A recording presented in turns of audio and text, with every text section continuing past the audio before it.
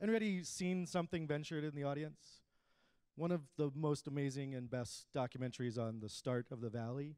Uh, it's not very long; it's about uh, I think 45 minutes or an hour or so. But uh, Bill Bill Draper here is one of the featured folks who helped start a lot of the investment uh, firms in the valley, two or three, I believe. Um, so I'm I must say I this I've been wanting to do this particular panel for at least a couple of years. Uh, we tried to get it together last year. Uh, Bill, thanks for hanging around long enough for me to get it done. Sorry, just kidding. Uh, Dark start. oh, was that too ah, a little bit harsh there? But um, yes, maybe not. Well, well, we're going to keep trying. Um, I just want to, for folks who don't know the history here, uh, we have three generations of Drapers on stage.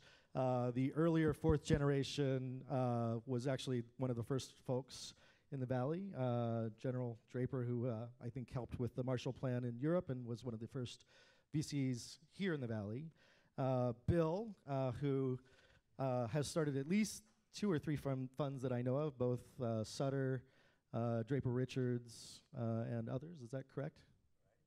and Tim, uh, now at Draper, uh, well, I guess doing your own investing, but was the founder of DFJ. That's done some amazing work here in the Valley over the years. Now it's Draper Associates. And a superhero. And, and the Draper Venture Network. We're, we're just modeling it after 500 I- start. I we're think following you wherever we copied you. If you're go. copying us, you're copying yourself. I think he did 1.0, we did 2.0, now he's doing 3.0. He's always one upping me. Uh, but uh, truly, I mean, I, I came to the Valley about 25 years ago, and you were an inspiration in many ways. I, got- I got to meet Bill through, uh, I think, some of his work with the uh, World Economic Forum. Um, but, uh, you know, getting to meet Steve and you and, and Warren. I play Frisbee with uh, Warren and, and Steve every now and then, but just really some amazing stuff that's happened over the years. Uh, and then see Billy and Adam and Jesse coming up in the next generation, uh, who I think are all running funds. Is that correct? Not running it. Not running it? No, I'm working Just with my dad on spending Draper dad's Associates. money? Yeah, It's a tough job. trying. So I, what I'd hope to do with this is maybe to do a little bit of a three-act play and talk about Bill's work and originally, you know, starting in the Valley in, in the 60s and 70s, uh, and then a little bit from Tim, kind of what happened from the 90s uh, to current day, and then I, your I experience. completely agree, except you only gave us 30 minutes. Yeah, I so know. I, you know, it's it's tough. And I've I'll spent only the first take five, 25.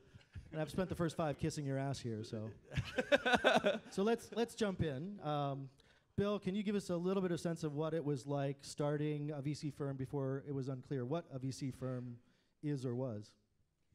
Yeah, it was uh, totally different. It was a small operation. Uh, we cooperated with a few other venture firms, uh, Sutter Hill, and uh, all uh, I don't know, lot, lots of the others. Uh, Sequoia wasn't in, but uh, Kleiner Perkins came in pretty soon after Sutter Hill started. My father, as you pointed out, really started the first venture capital company in the West. There were two in in New York, and both family uh, Rockefellers and and and uh, Whitney, and one in Bo- in Boston, which was American Research and Development, started by a great professor up at Harvard Business School, Doriot, Professor Doriot. Uh, it was very small. Uh, the the first deals were in you know 10 50,000 20,000 dollars they were called special situations we shared deals and uh, and ultimately in a few years they get to be a million dollar investment we'd share uh, three ways say with Mayfield and and Kleiner for example at Sutter Hill. Uh, it was it was very informal. We'd drive around in a when Pitch Johnson and I started, I left my father's firm after first three after three years, and uh, Pitch and I started a uh, what eventually uh, was the um, uh, the beginning of Sutter Hill Ventures, and uh, we each got rented a Pontiac, and we went out into the Pontiac orchards. was the name of a dinosaur. and and we went out into the orchards and knock on door on these uh, barn doors if it said electronics something or other and we said we're in venture cap what is venture capital there was no knowledge of what venture capital was of course it wasn't called silicon valley And uh, all of that started because of Stanford University. I always give credit to Stanford University. Without it, uh, I don't think there would be a um, Silicon Valley today. And uh, it's because they're the, the engine of uh, engineering uh, talent. And we are so lucky to be here, all of us.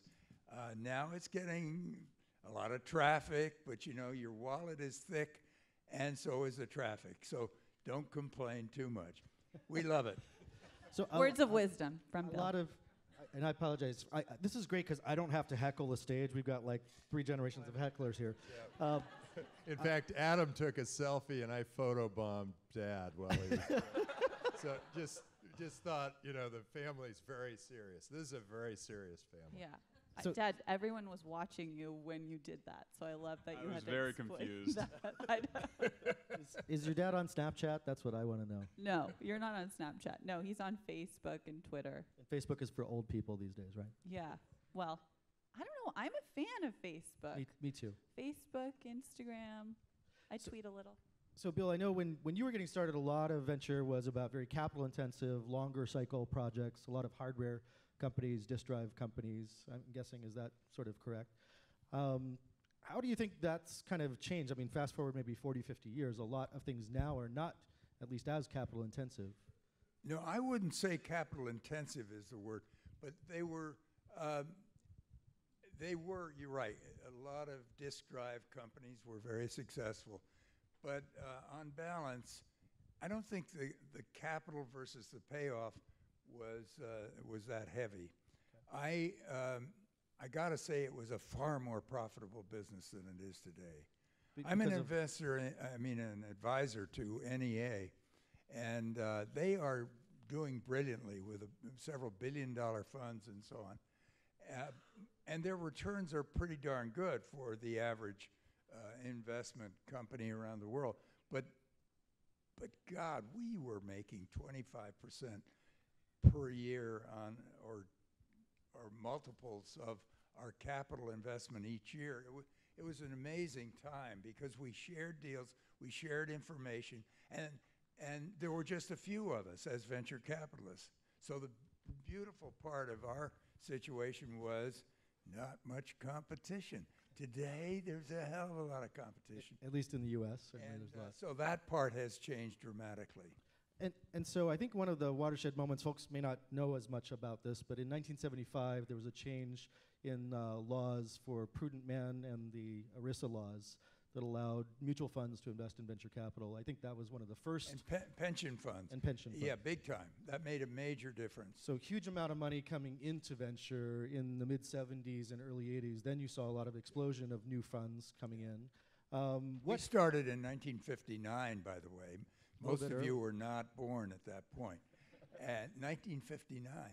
And uh, so it's been a long time since that we started.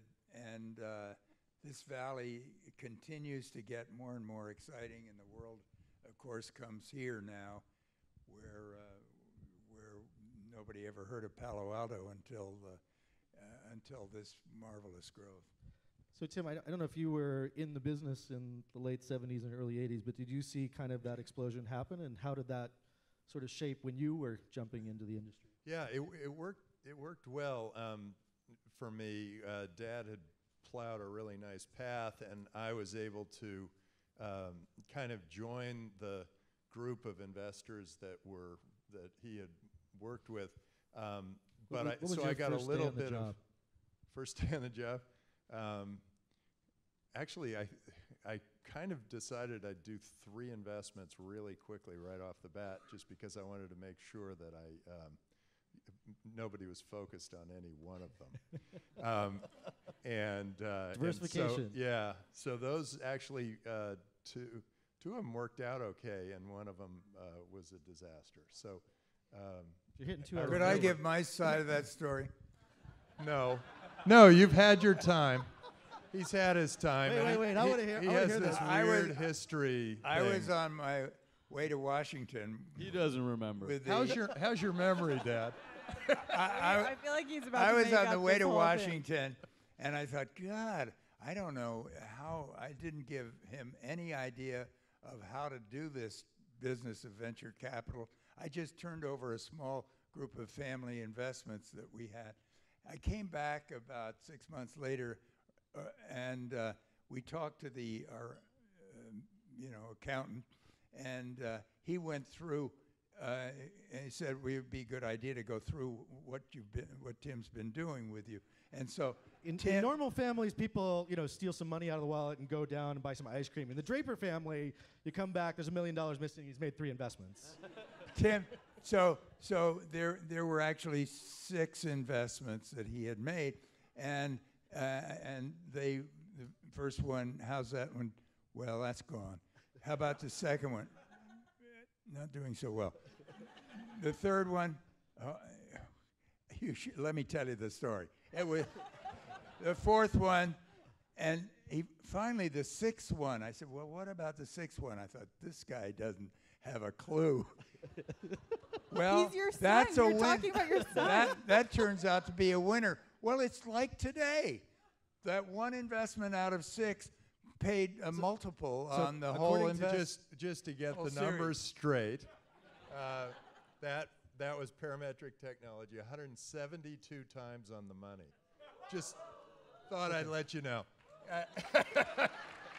so I guess I guess if you get 172x one times out of six, you're doing okay. Right. Well, and, and one was Parenting Magazine. That was three times on the money. But there were. and by the uh, way, there Tim were a lot of losers. Never tell you about his accomplishments. There were a lot of losers. All okay. Very modest. So let- Always I think it's, modest. I think it's time to move on to the new generation. um, anyway, we're we're uh, we're thrilled. Yeah, my uh, my career started with knocking on doors with anything that said software on it, which was interesting, and then it moved to where it got to be, um, and maybe it was because of the pension funds or whatever. Uh, people started to really become entrepreneurs, Right. and they they saw this really interesting opportunity for a career, and so uh, so then it became uh, that I wanted to go out there and and market and let entrepreneurs know that I existed, and so that they'd come to me. And then, uh, then it was a, a thing of filtering them down to figure out which ones they wanted. So Tim is my role model for shameless to marketing, in the valley. Like, selling to marketing. And, uh, and then I realized that there were opportunities outside of the Silicon Valley. I started to set up the, the what's now Yeah. the Draper Venture Network, and we had a bunch of offices around the U.S. Uh, and then we sort of thought, you know, it was it was the craziest idea. We started to think about doing things outside of the U.S. so, so both of you have been involved in creating VC outside the U.S. What what motivated you to do that, and you know why, why and when? Well, Well, my- Dad took me on several trips. Uh, we we went on regular trips to different parts of the world, and and it was so it was not so foreign to me to think about going outside the U.S. And uh, You folks And started so the we- first venture capital fund in India, right? uh, he did. I did. Draper Richard. He with uh, Robin Richards. And the way that happened was I got to know the world because I had run the Export Import Bank of the U.S. for Ronald Reagan and, and also Just went to just the happened At to the run an export import bank in the and UN. went and went uh, up to the UN and, and ran the largest grant aid program in the world for the UN. Uh, and as a result, I really got to know the world. I saw Asia was growing. So I came back, met this wonderful gal, Robin Richards, after retiring from the UN, and I wanted to go to Asia, and she did too, and we started this uh, fund uh, called Draper International, and, and it worked in India. We picked India because it was spoke English, basically.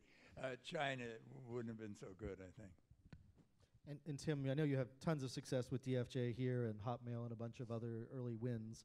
But what has kind of changed for you over the last 10, 20 years and sort of seeing, you, you've kind of moved back to seed stage investing and earlier stage investing. Yeah, the the international uh, thing has changed for me. I mean, we we moved uh, and and worked with this group and started something called DFJ ePlanet. With DFJ ePlanet, we were able to back Baidu and Skype. back Baidu and pretty Skype decent wins. in a time when no one was winning in the venture capital business. So we had just tried this new thing by going international, and we got the first search engine for China, and Skype uh, came out of a great uh, you know, hunting down an old technology and, um, I mean, uh, uh, the old technology, peer-to-peer technology u- being used for music, and they were they were sued out of existence, and then they Kazaa. decided to do something else. Um, Just so for the record, I invested in Skype before he Th- did. this is the long. That is thi- not true. This is the longest argument that's This been is like- going on for like 20 Don't years. get them started. You know, I, I don't care like who was first. If you guys are picking Skype and Baidu uh, early stage investments, I think you're doing okay. Uh, you know, Esto- Esto- Okay, I we think the won't- whole nation of Estonia views themselves as entrepreneurs because of Skype. I mean, certainly Baidu is you know one of the yeah, I am now a virtual resident of Estonia. you are. I have my card. Wait, my was this card- Jurvetson who got you to do this, or No, I they came to me. I actually uh, brought Steve in to join it, but but uh, but they made me the third virtual resident, and this is You're number card. three. Yeah, yeah, Wow. Okay, that's that's some solid bragging rights. yeah. And and we were just there, and this is. I'm a big believer that governments have to compete for us now. Yep. I think it. I think the world has changed. We're mobile, so we don't need to just stay in one place. And they have to start thinking, "Hey, I got to get more efficient, more effective." And the Estonian government has been the most effective at doing that. Uh, they they're now looking at the world in an Yep. e-governance way Absolutely. and we're able to uh, choose. So they they're using um, just by do, using digital signatures, they save two percent of their GDP.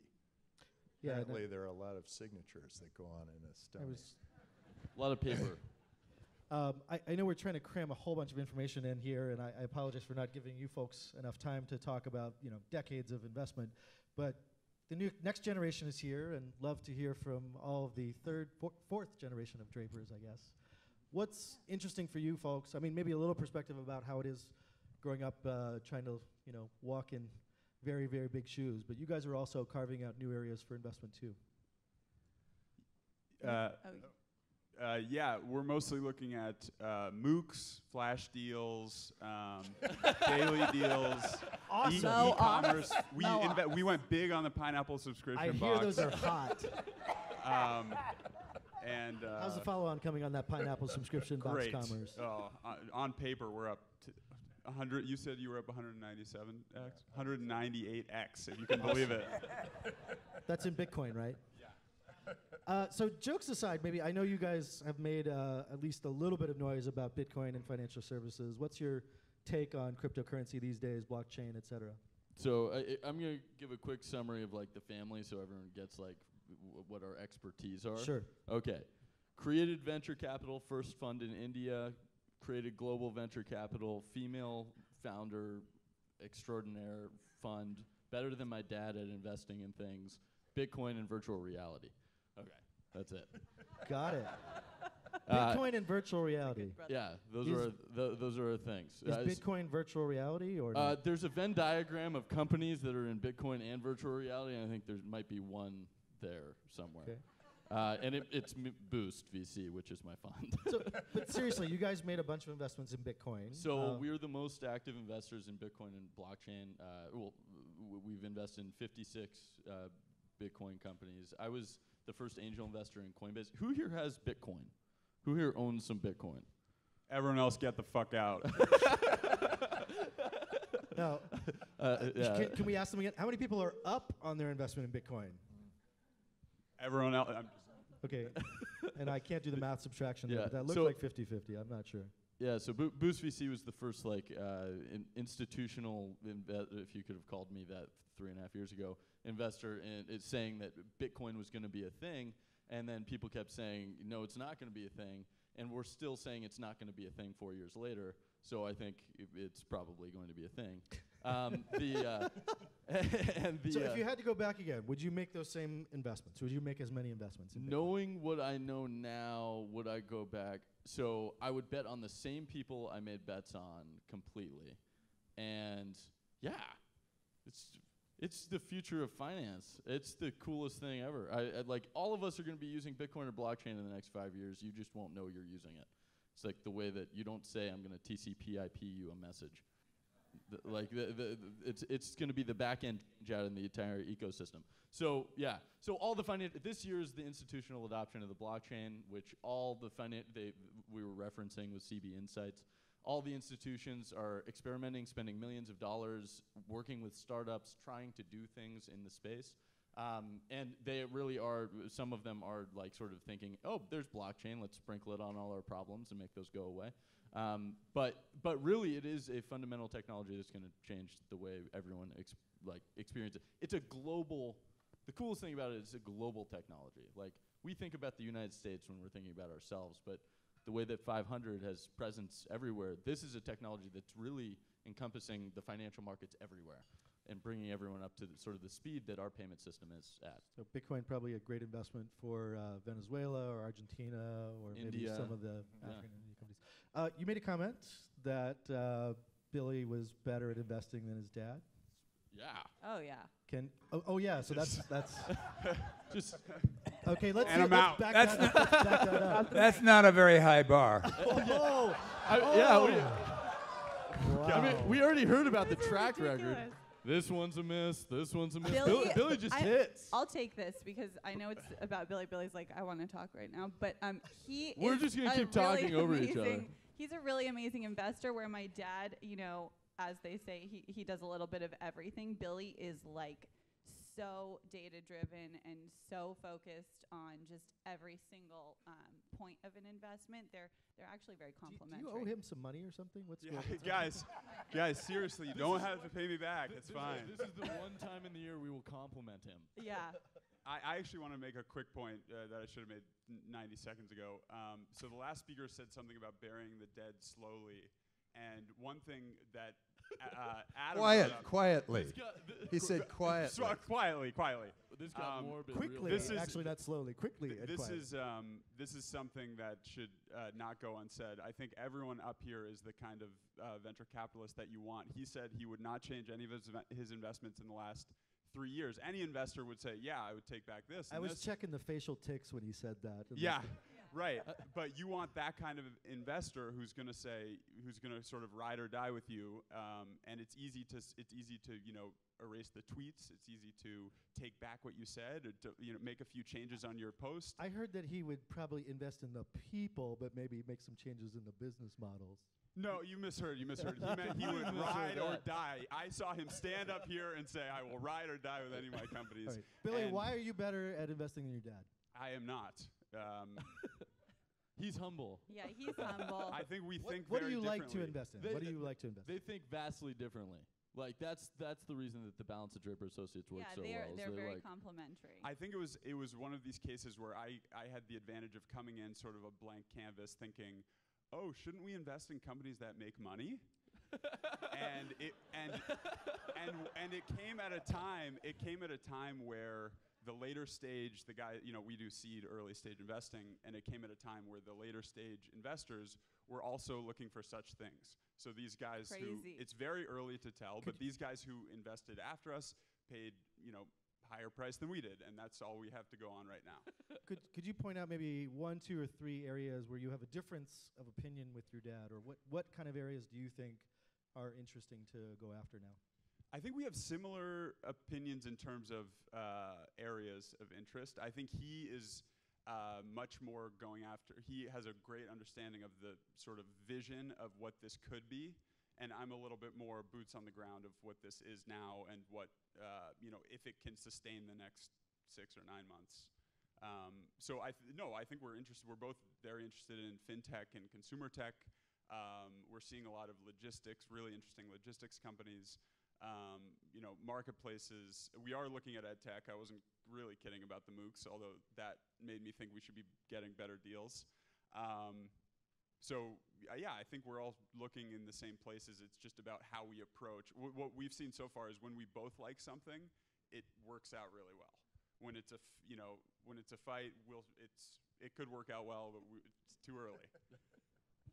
Uh, Jesse, you seem like the voice of reason, or oh at least no, perspective I'm on this at all. panel. b- I'm not at all the vo- voice of reason, but thank you. That was very nice. So- thank you for having us. First of all, Absolutely. we Yeah, really we were- I- appreciate you know, he's got the No, no, eyebrows. shh, I'd like this him my to be a part of the This is my family. I- Okay. Wow. So- I, I've always been given. Uh, so okay. okay, this this is just a So moment. ahead, as you I've, Jess. got, Yeah. I've got the adopted eyebrows of the Draper family.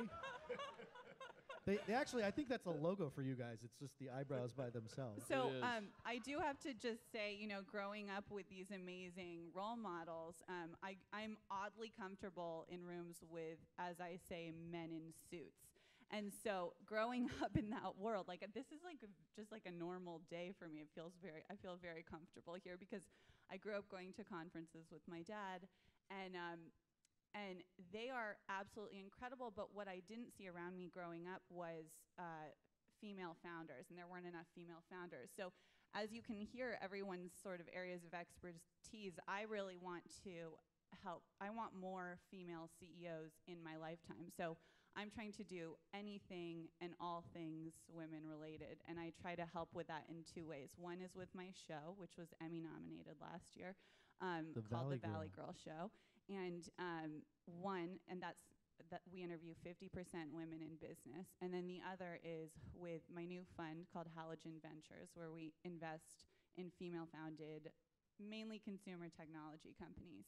But um, it's hard to get a voice in in this crew of boys, but I'm the girl voice, so come talk to me if you're a girl. Awesome. She, ju- she just took 50% market share in the Draper family. Slim pickings for the rest of us. So, Jesse, I can uh, tell you my personal uh, experience in trying to do uh, television uh, was not as good as our launch of Silicon Valley show. Uh, I had a nationally television uh, TV show for one episode before we got completely shit canned and canceled. Um, I think we should go. We should go do a show I- together. you know, I'd, I'd love to try that again sometime. um, I want to ask you a question because uh, I think you recently had another generation of Draper. Yeah. Uh, what's it like being a mom and a founder and an investor all at the same time? It is so hard. Dude, no one told me this. Thanks, guys. Thank you. I, I don't think they have much experience on that. This side. is like, it is hard. I mean, I'm trying to figure out how to balance it. I finally have it under control, and I can afford childcare, but not everybody can. And so I can work, and I am working.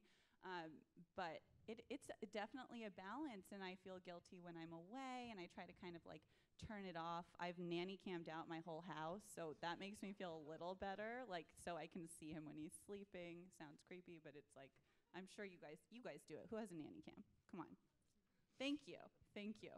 Um, but yeah, it's you know it's it's it's a balance, but it's also a new world. I think um, I'm actually talking to quite a few companies now that are trying to solve problems for women and men uh, in the childcare capacity because I think we need to change something, especially while women are having children who want or need to continue working. Um, so I've seen quite a few part-time, you know, executive placement companies and uh, like specifically for women. Um, but you know, men stay home too. So it's it's a new world, and I can't wait to see how it evolves. But it's hard. Can you guys maybe? I, I think you have the luxury of seeing multiple generations of funds, investment thesis, probably around the breakfast table conversations about investing. But I think a lot of people here are starting funds or trying to start funds or trying to figure out how to be an investor. What do you feel has been a unique perspective that you've been given as being part of this, you know, I would say dynasty? You know, what do, what do you kind of take for granted that you think would be helpful to other fund manager people getting started? Um, I can jump. Uh, sorry, I just spoke, but um, I I think our, all of us believe in the power of the network and networking, and that's something definitely my dad, you know, taught me. He always says, "I don't know Bill Gates that well, but if anyone wants to meet him and they're not crazy, I'll introduce them to him." And then he says, you know, he he remembers me as the guy who keeps bringing him great people. And um, so we always are happy to make introductions again, as long as you're not crazy. Um, and uh, The you know, filter's low. you know, it, it all it all it all comes back to you, and I think that's something that definitely goes down the line. That started with you. And yeah, you know, my, my, my dad once said, uh, disposable razors work really good the first two times, and then really good the 14th time. That's That's that's, really it. deep. that Never was really deep. Do you want to expound? I'm not I'm not sure I got it, but I'm gonna act like I yeah I got it. I, I think about it every day when I'm shaving. Uh, Tim, I don't know if you can kind of uh, take us home here, but uh, you, you seem to be I'm getting the still- brunt I'm of all still baffled the by the disposable razor comment. I know. I was thinking he was thinking of that shave, that the daily Dollar shave, Dollar dollar Shave. shave Plug. thing. But no, he was thinking about. it was like when I was 10.